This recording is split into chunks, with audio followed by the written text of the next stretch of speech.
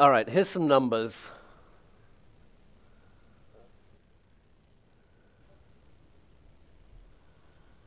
Here's some numbers.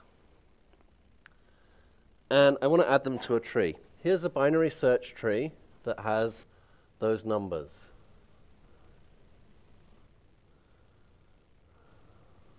Okay? Everybody's happy. That's a pretty good tree. If I want to search for the 14 or the 12, or if I know if there's a 15 in there, it's a log n algorithm, right? Because I divide my data in half. I don't compare half of the data. I just look at half. I go down, I go down, I go down. I keep going in halves. But I could also build a tree from these numbers like this. That's also a valid binary search tree. These nodes are null in this tree, just as these nodes are null in this tree, right? So we've got some nulls too. The difference is, well, what's the complexity of searching for this?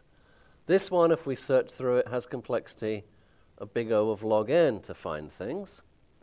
What's the complexity of searching through this?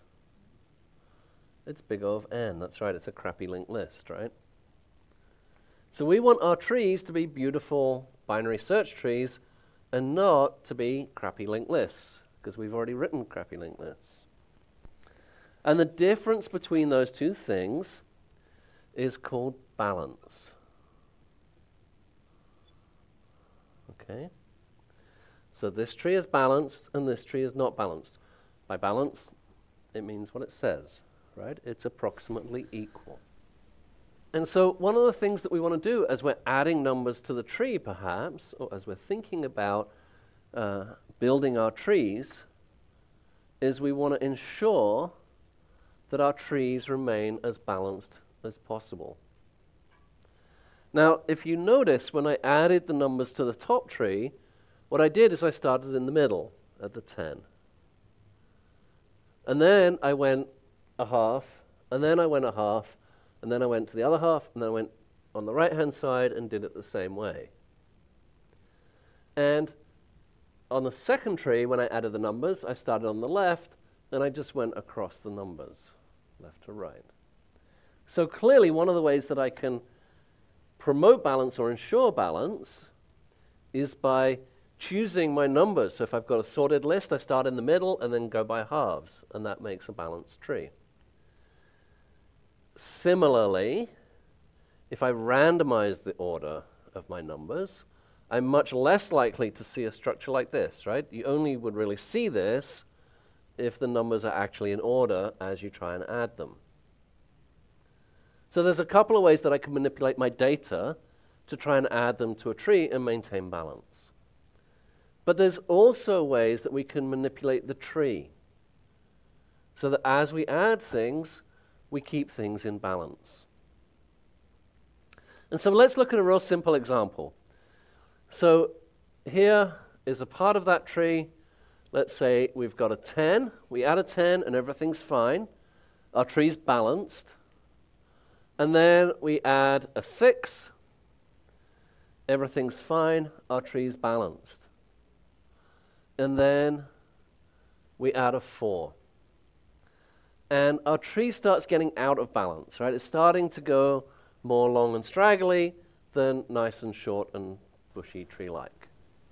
As you'll see over the next few classes, there's some ways that we actually measure balance, but for now, all I'm going to say is that this is not balanced and this is balanced. But as we get there, we'll talk about how we actually measure balance eventually. So what I really want to do as I'm adding these numbers is I've added the 4. So I added the 10, the 6, and then I added the 4. Okay? So this is the child node. This is the parent node. And this is the grandparent. And just like in life, the grandparents have to pay for the sins of their grandchildren. So what we're going to do is we're going to rebalance, we're going to rearrange our tree. and we're going to make the grandparent do all the work. Yes. So what we're going to do is we're going to take this grandparent and we're going to rotate the grandparent around like this. So the grandparent ends up over here. Okay? It's called, in this case, it's called a left rotate, sorry, a right rotation. It's called a right rotation because we're on the right hand side of the numbers, yeah? And so we're going to end up with the 6, the 4, and the 10. The grandparent becomes the sibling, and the parent becomes the new parent to both nodes. Similarly, if we have, um, let's say we have 4, 6, and then we add 10, again, the 10, when we add it, is the node that causes all the problems. Oh, I hate you, 10. You've been nothing but trouble. Child, parent, grandparent. What we're going to do is take the grandparent and we're going to rotate it around so that the grandparent becomes the new child. And so this is called a left okay, rotation. And that then we end up with 6, 4, 10. If the imbalance is in the left child's left subtree,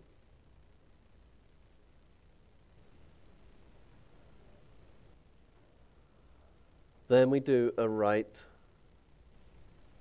rotation. If the imbalance is in the right child's right subtree,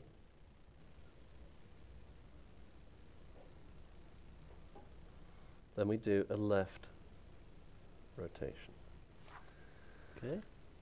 And then the other thing I want you to think about and notice what's going on here, which is really critical, is that in each case, so here we have the smallest element, here we have the largest element, and here we have the median element.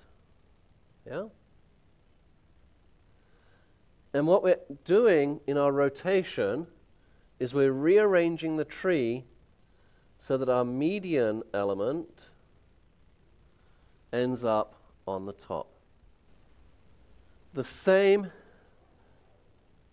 here we have the largest element, here we have the smallest element, and here we have the median element.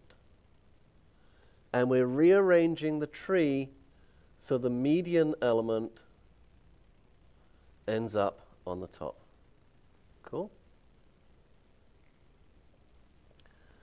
So when we're rearranging these trees, we always do it so that the median element becomes the, the top, the root element.